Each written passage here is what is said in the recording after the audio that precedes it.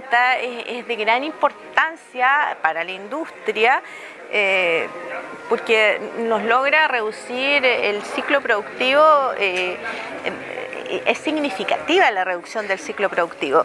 Cultivos que antes se hacían en 22 meses, 18, 22 meses, ahora los podemos tener en 13 y además em, la madurez precoz. logramos bajar esa madurez de un 34 un 15, pero ese 15 todavía era mucho. Entonces dijimos, perfecto, ¿qué hacemos? Analizamos esos peces y bueno, y nos dimos cuenta que finalmente no era grills, no solo los peces que, eh, que, nosotros, que, la literatura decía que había que inhibir la muere. Teníamos un problema que venía del agua dulce y nos empezamos a sospechar que era de manejo. Los peces ya venían con varias señales, entonces cuando llegaba su segundo invierno en el mar ya era como un cuarto invierno.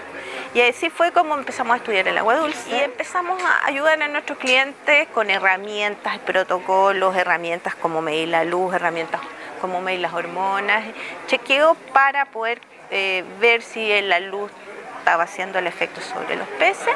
Y así fue como logramos controlar esta madurez. En este momento esta estrategia que nosotros recomendamos que es desde la siembra hasta cosecha hacer prender la luz eh, esta estrategia nos ha permitido eh, nos ha permitido reducirla, que ya no tenemos problemas de.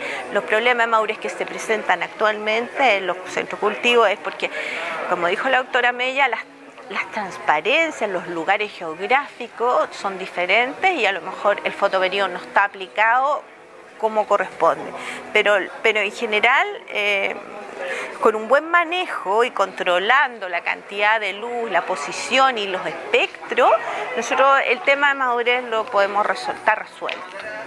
Y bueno, y el crecimiento está por, viene agregado y eso es es una ganancia sanitaria, sanitaria muy, muy importante porque resulta que tener 18 meses los cultivos es un riesgo y reducir a 13, bueno, es una gana tremenda y económicamente.